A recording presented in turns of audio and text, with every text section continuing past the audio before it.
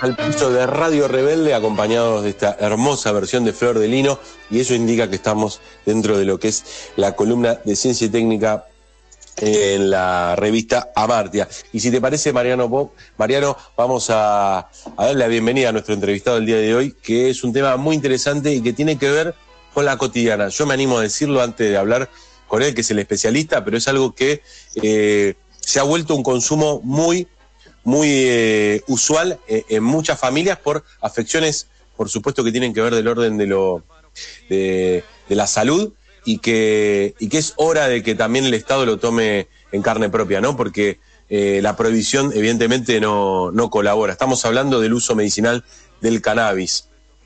Vamos a darle la bienvenida, si te parece, Mariano, a Darío Andrinolo, que es, es especialista en esta materia, ¿sí? Te va? Te saluda Julián Saúl de Revista Martia. Hola, ¿cómo le va a ustedes, a todos los oyentes? Bien. Eh, justamente estábamos hablando de esto, ¿no? Esta, esta especialidad, vos sos doctor en ciencias biomédicas, licenciado en biología, investigador independiente del CONICET y la Universidad de La Plata, y trabajás este tema. Un tema que, como vos ya sabés, ya, ya la gente lo está usando, ¿no? El tema será poder ponerle la fuerza y la investigación del Estado por delante, ¿no? ¿Qué, opinión tenés sobre esto que en términos caseros ya se está empleando? Sí, esto se viene empleando hace 12.000 años. el hombre conoce a la planta de cannabis hace cuando todavía era nómade y la, la tomó y la construyó como planta. De hecho, no existen plantas de cannabis sativa en, ningún lado este, silvestres. Eh, así como no existe el trigo, como lo conocemos hoy silvestre, como no existe una vaca, como lo conocemos hoy silvestre, un salchicha, perro salchicha. Son construcciones humanas. Son construcciones que nosotros fuimos. De hecho, fíjense qué cosa, que es la única planta que produce cannabinoides. O sea que el hombre durante su evolución fue seleccionando las plantas con cannabinoides porque tenían principios activos, los cannabinoides, que impactan sobre nuestro sistema endocannabinoide propio. Algo parecido a lo que pasa con los opioides. Los opioides están en, la planta de amapola y, e impactan en el sistema este, de las endorfinas que tenemos en el cuerpo. A ver si yo entiendo bien, Darío, vos decís que nuestro cuerpo está preparado para que los cannabinoides, ¿cómo, ¿cómo es el nombre? Me va a salir eh, cannabinoides endógenos. Nosotros tenemos eh, cannabinoides endógenos, que no son eh, eh, sustancias parecidas al cannabis de la planta, pero que actúan sobre los mismos receptores, digamos, actúan sobre los mismos mecanismos que actúan nuestros cannabinoides endógenos. Entonces, cuando incorporamos esos cannabinoides de las plantas, nos causan ciertas sensaciones y nos causan, el, el efecto que nos causan, nos causan porque nosotros tenemos un sistema que regula todos los sistemas. El sistema endocannabinoide es un sistema regulador homeostático que vuelve al equilibrio, que tiende al equilibrio del cuerpo, del organismo. ¿Sí? Para eso está, el, o sea, una persona con Parkinson está temblequeando, temblando porque tiene este, eh, bueno, este problema de, de nervioso. Cuando toma cannabis, regula la sinapsis, se autorregulan y deja de temblar. Eso es como muy simple, una cosa muy muy simple, pero bueno, los sistemas de cannabinoides están distribuidos por todo nuestro cuerpo, cerebro, vaso, hígado, músculo, eh, terminaciones nerviosas, donde quieras va a haber terminaciones cannabinoides. Por lo tanto, el hombre fue seleccionando una planta que le servía para controlar, manejar, este, ayudar a este sistema endocannabinoide durante los siglos. En los últimos 60, 70 años, ¿sí? Esto tuvo eh, un, prohibicionismo a nivel internacional que no tiene que ver con la planta en sí misma, sino con quienes usaban mucho esa planta y a quienes había que destruir, denigrar, este, bajar de las percepciones sociales, que son básicamente... Me suena, me suena conocido eso. ¿Cómo? Suena conocido, digo, eso de la persecución. Claro, entonces usaron el tema del cannabis para perseguir en Estados Unidos fundamentalmente a negros y mexicanos, y latinos. Ah, este, interesante. Eso llevó, eso llevó, esto es largo para hablar, digamos, eso llevó a un provisionismo internacional durante este, los últimas, las últimas décadas que nos sacó el cannabis de enfrente, nos salió de la farmacopea, salió de y quedó como droga de abuso y toda la, guerra de las drogas internacional. Pero como el cannabis hace evidentemente un efecto muy importante en la salud de las personas, tiene un efecto importante, este, la gente lo empezó a usar y hace más o menos 10, 15 años atrás empezó todo un movimiento donde los pacientes le llevaban el aceite al médico y le decía, yo estoy tomando esto. Y todas estas cosas que vos me estás dando no me están solucionando el problema, me lo está solucionando esto. Cosa que llega a sus, digamos, de sumo con el tema de las madres con, con niños con epilepsia, síndrome de Dravet, etcétera. Este, donde en serio las medicaciones no dan resultado y cannabis aparece ser a, veces como mágico, ¿sí? A veces cannabis tiene una forma de funcionamiento tal que sorprende a propios y ajenos. No, es impresionante. Cualquiera que haya visto imágenes en las redes, es impresionante. Eh, y la idea no es hablar de casos personales, pero todos conocemos algún caso del uso del aceite. Ahora, la pregunta, me imagino, Mariano tenía, lo, corté, Mariano tenía para hacerte alguna pregunta seguramente, pero déjame preguntarte sobre el tema de la dosis, porque eh, hay gente muy responsable haciendo aceite en su casa porque empezó por una cuestión familiar y después lo empezó a, vender y a hacer circular. Eh, el tema es si sigue siendo, necesitamos la ciencia para saber la dosis, para saber también la cepa, qué planta plantar, qué no. ¿Cómo, cómo ves este, esta situación que es muy necesario tener información y que a veces el que la hace acá hay un choque de dos, de dos formas diferentes, porque como cannabis se movió dentro de una cultura popular, tomó de las raíces de la rostería popular, de las, este, no sé, no quiero decir brujas, pero sí, este, en, definitiva, las personas que ocupan un rol en la salud comunitaria, que son este, las que asisten a, a otras personas, y ahí en ese, en, ese mundo, ¿sí? Eh, las dosis no se manejan como en medicina, ¿sí? Eh, no sé, yo he, visto y he, escuchado a personas hablar de cómo hacer un té de tal hierba y dicen lo que te cae y cuando tomás con los tres dedos de la mano se ponen agua hirviendo se, o se hierve o se ponen aceite o, lo que sea. Entonces, lo que es la dosis, como nosotros lo conocemos, no no no no tiene una, una condición. Por eso se dice que cuando vos empezás con un aceite de cannabis, tenés que empezar de menos a más, con una gotita, ver lo que pasa y se produce una autodosificación. Y es lo que hacen los médicos canábicos hoy, los médicos canábicos mal dicho, ¿no? Los médicos que utilizan cannabis hoy día hacen esto con los pacientes, o sea, empiezan con dosis mínimas y van subiendo hasta encontrar la dosis que hace efecto o la mínima dosis que hace un efecto eh, no, no, querido. Eh, entonces, eh, ahora todos están pidiendo la dosis, ¿sí? Y los primeros medicamentos de cannabis empezaron a tener concentraciones altísimas de cannabinoides, 100 miligramos por mililitro, qué sé yo. Los aceites locales que usamos nosotros, según nuestros datos, tienen alrededor de 5, 6, 10 miligramos por mililitro. Hay, hay más y hay menos, hay una variabilidad enorme igual hacen efecto. Porque aparte con el cannabis, no está solamente la dosis de los cannabinoides, sino el perfil de cannabinoides, si tiene THC, si tiene CBD, si tiene CBN, si están ácidos, si están neutros. Para poder entender que el Estado acepte esto, implica también que se puedan hacer estudios con respecto a esto, esto que vos decís, las proporciones es fundamental, porque a veces, como cualquier cosa, uno cree que por poner más eh, tenés más efecto, y por ahí no, no, por ahí con mucho menos generas el mismo efecto, ¿no es cierto? Totalmente. Y aparte, vos solamente con CBD tenés un efecto, una concentración altísima, pero si a eso le ponés un poco de THC, puede ser que la dosis tenga que ser menor. Y además, los productos artesanales de cannabis vienen con terpenos, vienen con otros compuestos de la planta que también tienen efecto este, medicinal o terapéutico. Ah. Los terpenos son sustancias muy conocidas en, en medicina. ¿sí? Son anticancerígenos de venta comercial, son, este, no sé, eh, los fertilizantes que tiene este eh, la melisa, eh, los terpenos son altamente conocidos, también cumplen su rol acá. Pero acá tenemos dos visiones completamente diferentes que están chocando en este momento. Una, una visión tradicional, herborística, donde todos los componentes de la planta se usan, etcétera, y una, una visión farmacológica hegemónica, donde lo que hay que hacer es agarrar la planta, separarle los principios activos por separado y administrártelos en grajeas, que es lo que hacen con todo. Y si podemos ubicar un derivado sintético que sea más barato, mejor. ¿Sí? Ahora, eso no ha funcionado con cannabis. Todos los derivados aislados de la planta o los sintéticos de cannabis no tienen la misma actividad que tienen los preparados de planta entera o de flores directamente, con terpenos, con todos los componentes de la planta.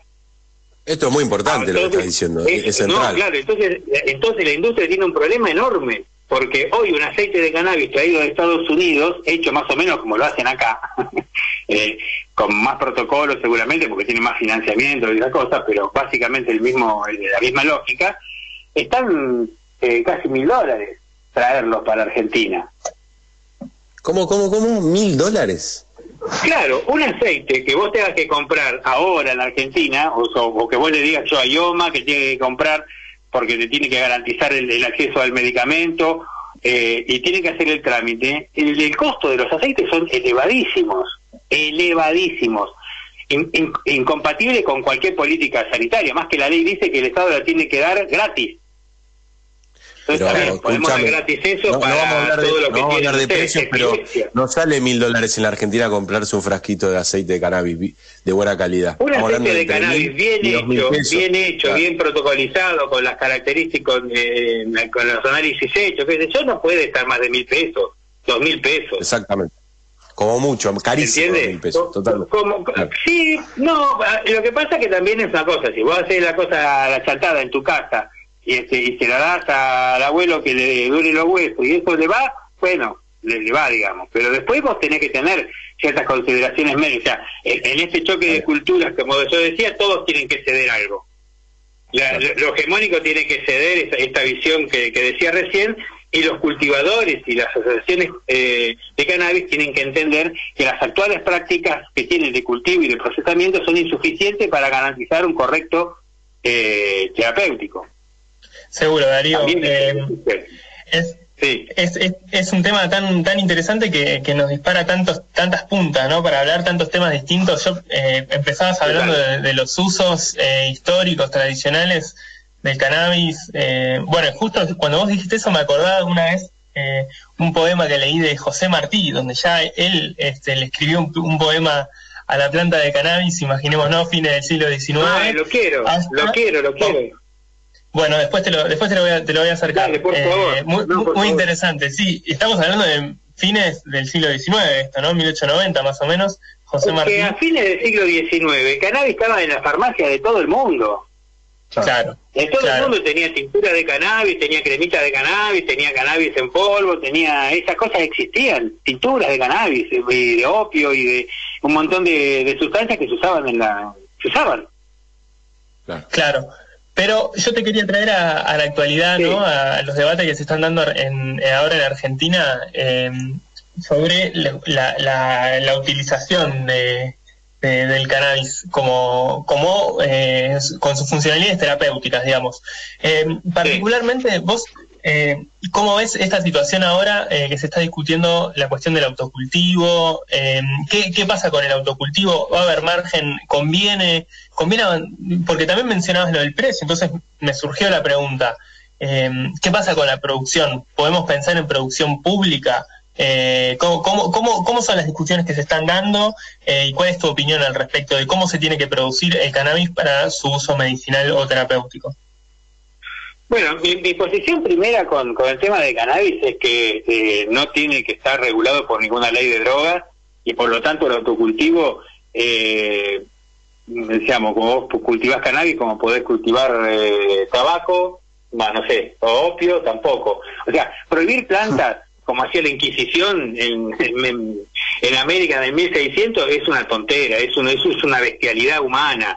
Prohibir a la universidad pública investigar sobre cannabis como todos estos años pasados que fue de hecho, hoy todavía más no nos deja entrar eh, estándares analíticos para cannabis, no podés comprar una semilla de cannabis.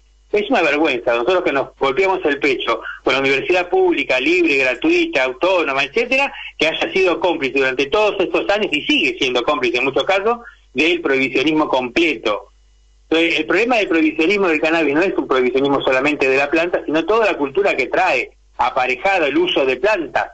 Es también un prohibicionismo hacia toda la tradición eh, indígena, es, es, eh, es más complicado. Y como proceso social, esto de que el paciente se ponga a la altura del médico y le diga yo no quiero lo que vos me estás dando, yo quiero lo que yo conseguí y que vos me acompañes, es también un cambio en la relación médico-paciente muy interesante.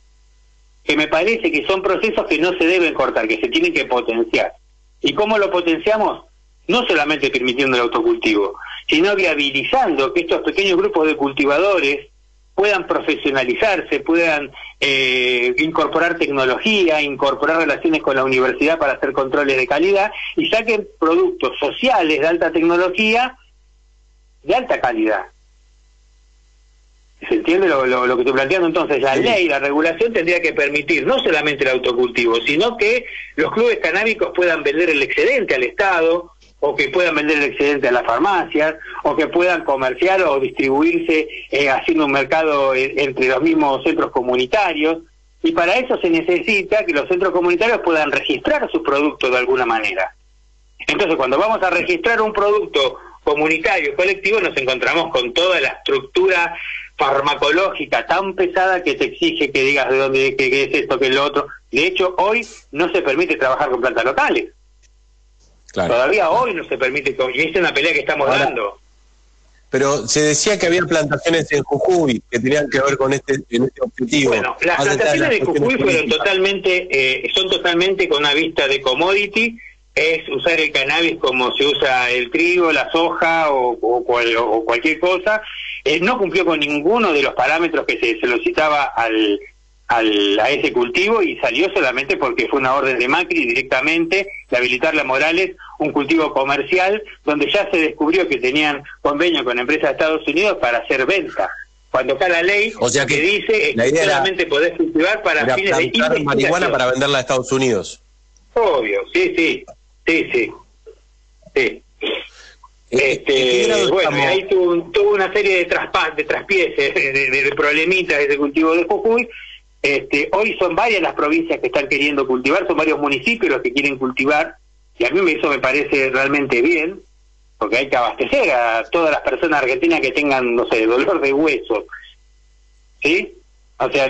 Bueno, pero, eh, pero Darío, Darío, eh, tengo millones de preguntas, pero no solo por, digo, porque el cannabis hizo popular, eh, como bien decís vos, por las afecciones como incluso autismo, ¿no? Creo que se ha, implementado también, pero de artrosis infantil, situaciones muy dramáticas. Ahora, también es posible que sirva para otras cosas que tengan que ver eh, con cómo a veces nos afecta la vida en tecnología o la vida en velocidad que vivimos muchos de nosotros. Digo, Total, total, total. O sea, la persona, la persona que llega a su casa y se toma un vaso de vino, este, ¿no? Eh, que es una persona normal, culta, que llega a su casa y se relaja. Ahora, pero si llegas a tu casa y te fumas un, un vaso de cannabis y te relajas y mirás cosas y conversás, no, ahí es un drogadito que tenés problemas de abuso con las sustancias químicas. Este, entonces, esa cosa tenemos que cambiar. O sea, la salud de las personas, o sea, el estado de bienestar o este estado de equilibrio entre la salud y la enfermedad en la cual vivimos todos, cada uno es dueño de cómo maneja su equilibrio. Y como decía Zafalón, y nadie te está eh, vigilando si te cortas un dedo. Cortarse un dedo no está penado por la ley. Bueno, ¿por qué va a estar penado por la ley otro tipo de actividades que nos hacen mal? Menos trabajar 12 horas por día, digamos, eso tampoco está penado por la ley. y se hace, ¿no? Claro. Incluso fíjate que las propagandas de televisión lo que te dicen es, ay, te duele la cabeza, estás en la oficina, está una chica, un chico con dolor de cabeza que no puede más, adelante, clavate un ibuprofeno y seguí. ¿Eh? Ejercer tu derecho de trabajador del descanso necesario. ¿Eh? Clavate un ibuprofeno. Entonces, acá vemos, digamos, todo una doble vara y una serie de hipocresías metidas en el medio que eh, cannabis pone en cuestionamiento y eso pone muy nervioso a mucha gente. ¿sí? Darío, la última, ¿qué, perspectivas tenemos de que sea ley esto? ¿Tenés alguna información? ¿Hay plazos? Mira, la, regulación que va a salir seguramente va a ser mejor que la que hay. Tiene algunas dudas que todavía todos tenemos, pero bueno, si hay que dejarlo correr. Mi pensamiento es que si con todo el prohibicionismo avanzamos como avanzamos, con esta nueva ley vamos a poder, con esta nueva regulación de la ley, nueva ley, con la nueva regulación vamos a poder avanzar muchísimo más este, y seguiremos rompiendo este, las barras que, nos pongan adelante de lo que quede del provisionismo. Ahora, por ejemplo, el provisionismo se traduce en solamente CBD. Y vas a ver institutos de CONICET sacando por diario, qué sé yo. No, nosotros incorporamos CBD porque solamente CBD. No, ¿qué CBD? Es toda la planta. es toda la planta, son todos sus compuestos, cortémosla con ese tipo de prohibicionismo que va, o, este otro prohibicionismo. Cocuy puede plantar, pero la, la, madre que tiene un chico con epilepsia en la casa no. Bueno, esas cosas se tienen que terminar, yo creo que la ley esta va a terminar con eso. El problema ahora es cómo seguimos adelante y si podemos fortalecer todas las organizaciones sociales que se han construido de la sociedad civil para abarcar este tema, o si vamos a poner una regulación que eso lo va a aplacar y va a volver a la normalidad y cannabis va a ser un medicamento más en la farmacia, con la sella de, sello de Vago, con el sello de Romer, con el sello de AFIA, con el sello que sea. Darío, muchas gracias y te comprometemos para que cuando avance es algo que va a suceder igual. El tema son las libertades que nos van a quedar a nosotros de trabajar con cannabis. Claro. Darío, te comprometemos para que cuando avance esta ley y el tema, por supuesto, te podamos volver a sacar para charlar esto, que evidentemente no solo es tu especialidad, sino, digamos, tenés una gran pasión por el tema y que la verdad que es impresionante. Son 12.000 años de historia y una planta que parece que tiene tanta fuerza para vengarse eh, de, los que la prohibieron, ¿no? Porque evidentemente es tan efectiva que los médicos eh, ya no dicen nada cuando uno les presenta esta opción. No, no, por supuesto. Sigue habiendo médicos medio cabeza dura, pero. Y aparte es necesario también hacer. Claro, sí. Este, hay que incluir eh, cannabis dentro de las materias de, los bioquímicos. O sea, cannabis tiene una función en la sinapsis de la célula tan importante que es una vergüenza no tomarlo como uno de los reguladores de la sinapsis. No lo enseñan en ningún lado, no lo enseñan en medicina, no lo enseñan en bioquímica, no lo enseñan en ningún lado. El rol de los cannabinoides y la regulación de la sinapsis. Una tontera por el estilo. Pero ¿por qué es tan importante eh, en, términos de la sinapsis? Explícanos a los que la, En términos de la sinapsis, nosotros segregamos cannabinoides endógenos en las neuronas postsinápticas y, los cannabinoides viajan al revés que la eh, que la acción sináptica y contactan con la neurona presináptica y le comunican que la postsináptica ya entendió el mensaje y por lo tanto disminuye la liberación de neurotransmisores en, el, en el espacio sináptico. Entonces, es una regulación interna entre las dos células que regula la comunicación. Cuando eso no está regulado, se produce el Parkinson, se producen eh, eh, una serie de enfermedades por déficit del sistema endocannabinoide. Hay que regular entonces, Darío. Esa es la, esa es la lección de la nota de hoy. Hay que regular, hay que regular y, tender al equilibrio, como diría. un abrazo enorme, Darío. Muchas gracias. ¿eh? Un abrazo a todos. Gracias por la comunicación. Era Darío Andrinolo, doctor en ciencias biomédicas y licenciado en biología, investigador independiente del CONICET, y la verdad que nos dio una clase maestra de esto que es eh, una, una verdad voces, ¿no, Mariano? Eh, también le planteo a Fede, nos tenemos que ir a la pausa, pero es algo que, como dijo, de manera popular se consume, todos conocen a alguien que han probado con esta opción, estamos hablando del aceite de cannabis, y que es tan, tan eh, efectivo en muchas afecciones eh, médicas, ¿no?